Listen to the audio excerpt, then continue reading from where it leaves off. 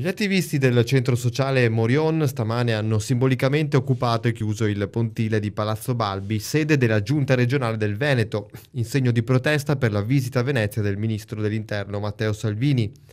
Mentre il ministro è chiuso all'interno di una zona rossa blindata, viene spiegato in una nota, gli attivisti rivendicano il diritto a una città aperta alle politiche di accoglienza e chiusa al razzismo e alle polemiche infami fatte sulla pelle delle persone lasciate a morire in mare.